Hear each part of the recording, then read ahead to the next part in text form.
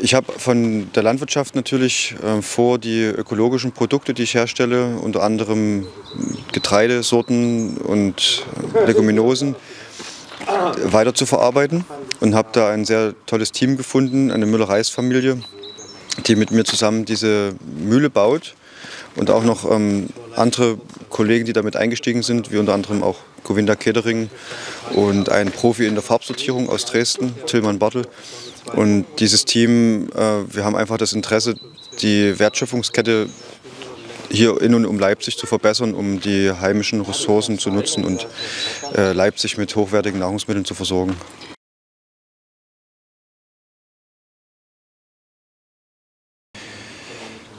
Bestehende Mühlen sind natürlich schon immer sehr groß. Äh, äh, sind die, die kleineren Handwerksmühlen sind entweder komplett verschwunden schon und oft ist es dann so, dass, dass entweder wird der Biobereich gar nicht berührt. Es sind große Industriemühlen, die nur im konventionellen Bereich unterwegs sind. Um, und es sind wenige Mühlen, die das sich leisten können, zweigleisig zu fahren. Und eine reine Biomühle zu finden, ist dann also umso schwerer. Ähm, und der Druck, ähm, gerade der Preisdruck, auch der, die Konkurrenz mit den anderen großen Industriemühlen ist so, dass das Produkt Mehl selber natürlich ein, etwas sehr, das ist sehr billig geworden, es hat, es hat kaum noch Wert, es hat kaum noch Inhalt. Äh, und dafür, da, da muss man einfach, hm, braucht man neue Konzepte und äh, auch Menschen in der Stadt, die das erkennen, die diese kurzen Wege, die, die Verfügbarkeit vor Ort, ähm, dass sie zu uns rauskommen können hier, unseren Ort, unseren Hof, die Mühle besuchen können, dass sie das wertschätzen äh, und nicht zuletzt einfach die, den, die, die, diese gesunden Nahrungsmittel, dass der Geschmack, dass das ankommt und dass ähm, Nahrung auch ein Stück weit Medizin sein kann.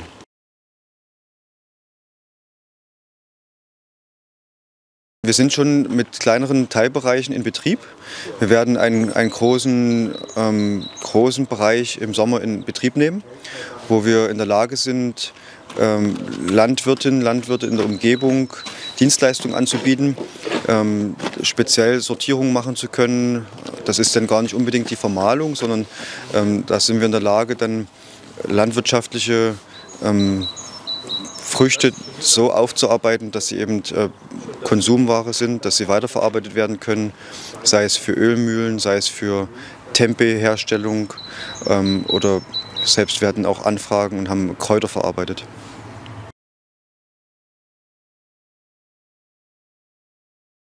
Momentan ist es schon eine sehr mutige Situation zu investieren. Die, der Markt ist sehr angespannt.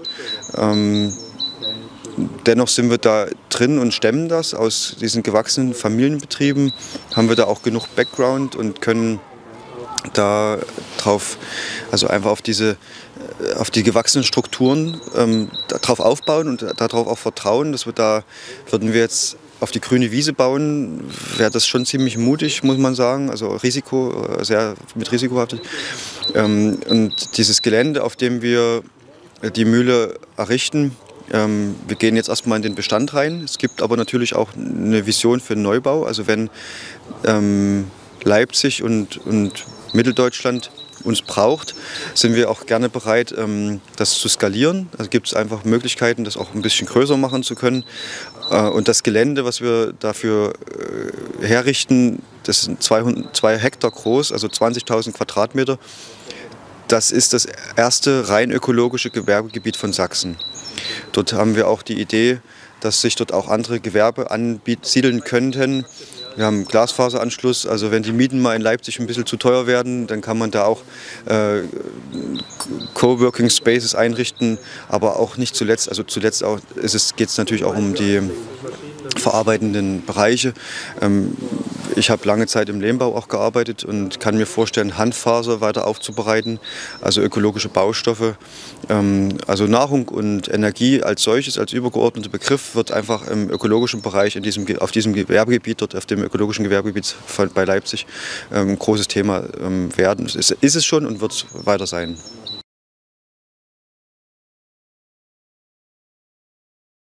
Wir sind in vielen Initiativen drin, es sind in vielen, ich habe in den letzten ein, zwei Jahren mehr Hände geschüttelt als Mehlsäcke geschleppt. Äh, ich ich fühle mich schon sehr unterstützt und gehört, muss ich sagen. Ähm, wahrgenommen.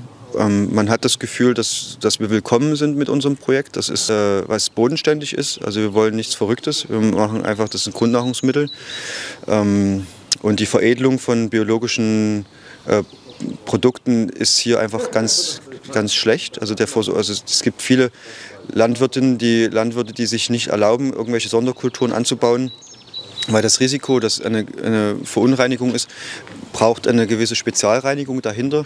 Die gibt es einfach nicht. Und dann sind Transportwege von, von da ist zum Glück, wenn es mal 100 Kilometer sind, das geht zum Teil quer durch Deutschland, das lohnt sich dann meistens nicht. Durch so eine Möglichkeit, hier so einen zentralen Punkt, eine Sammelstelle für Sonderkulturen zu haben, aber auch eben aufbereiten zu können, veredeln zu können im rein mechanischen Bereich, ähm, das heißt, man kann, ähm, wir können schälen oder eben auch, ähm, auch schroten, um dann Granulate herzustellen. Das, das, das ist dann eben interessant für Tofu, Tempeh-Herstellung, die da immer mehr blühen. Also in den Städten ist dieser vegetarisch-vegane Markt einfach sehr am Aufblühen. Also das macht richtig Spaß, dazu zu sehen und wie viele kleine Küchen und Manufakturen sich darum kümmern.